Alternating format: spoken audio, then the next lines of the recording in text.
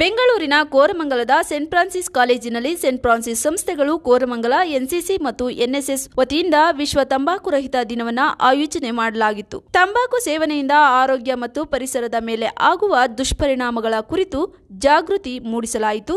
NCC ವಿದ್ಯಾರ್ಥಿಗಳು ತಂಬಾಕು ಸೇವನೆಯಿಂದ ಆಗುವಂತಹ ದುಷ್ಪರಿಣಾಮಗಳ ಕುರಿತು ಕಿರುನಾಟಕ ಪ್ರದರ್ಶನ ಮಾಡಿದರು. ತಂಬಾಕು ಸೇವನೆ ಮಾಡದಂತೆ ಪ್ರಮಾಣ ವಚನ ಸ್ವೀಕರಿಸಲಾಯಿತು. ನಂತರ ಎಲ್ಲ ಎನ್ಸಿಸಿ ಮತ್ತು ಎನ್ಎಸ್ಎಸ್ ಸ್ವಯಂ ಸೇವಕರು ಫಲಕಗಳಲ್ಲಿ ಜಾಗೃತಿ ಸಂದೇಶ ಮತ್ತು ಘೋಷಣೆಗಳೊಂದಿಗೆ ಸಾರ್ವಜನಿಕರಲ್ಲಿ ಜಾಗೃತಿ ಮೂಡಿಸಿದರು. ಕಾರ್ಯಕ್ರಮದಲ್ಲಿ ಫ್ರಾನ್ಸಿಸ್ ಕಾಲೇಜಿನ ನಿರ್ದೇಶಕರಾದ ಬ್ರದರ್ ಆಂಟೋನಿ ಉಪನಿರ್ದೇಶಕರಾದ ಬ್ರದರ್ ಪೀಟರ್ ಮತ್ತು ಪ್ರಾಂಶುಪಾಲರಾದ ಡಾಕ್ಟರ್ ಆರ್ ಎನ್ ಸುಬ್ಬರಾವ್ ಮುಂತಾದವರು ಭಾಗವಹಿಸಿದ್ದರು.